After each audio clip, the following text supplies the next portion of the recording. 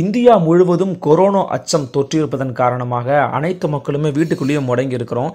இந்த நேரத்தில் கூட இந்தியாவினுடைய ஒரு சிறப்பான பண்பான செக்யூலரிசம் மத நல்லிணக்கம் அப்படிங்கிறது களத்தில் நடந்திருக்கிறத இந்த நிகழ்ச்சி மூலம் நம்மளால் பார்க்க முடியுது. ஆமாங்க.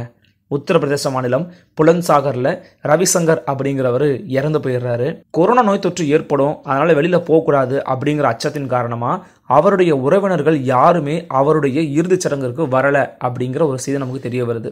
இதனால் அவருடைய உடலை தூக்கிட்டு போகிறது யார்? அது யார் அடக்கம் பண்ணுறது அப்படிங்கிற கேள்வி வரும்போது அவருடைய பக்கத்து வீட்டு அண்டை வீட்டு நண்பர்களான சகோதரர்களான இஸ்லாமியர்கள் தான் அவருடைய உடலை இறுதி யாத்திரைக்கு தூக்கிட்டு போயிருக்காங்க. அதிலும் குறிப்பாக அவங்க தங்களுடைய தோளில் வச்சு ரவிசங்கர் அவருடைய உடலை தூக்கிட்டு போகும்போது ராமநாம கோஷத்தை எழுப்பி தான் தூக்கிட்டு போயிருக்கிறாங்க. இது இந்த வீடியோவை பார்த்துக்கிட்டு இருக்கிற நமக்கும் அந்த காலத்தில் இருந்தவங்களுக்கும் ஒரு மிகப்பெரிய ஆச்சரியத்தையும் நெகிழ்ச்சியும் ஏற்படுத்திய ஒரு சம்பவமாக இருக்குது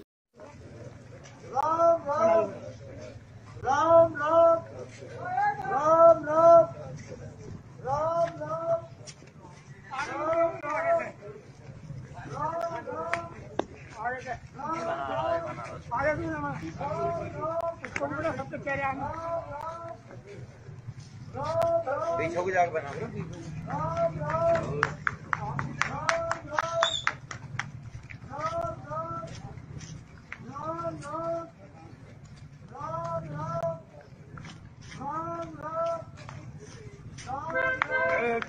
Déjale avisar a mi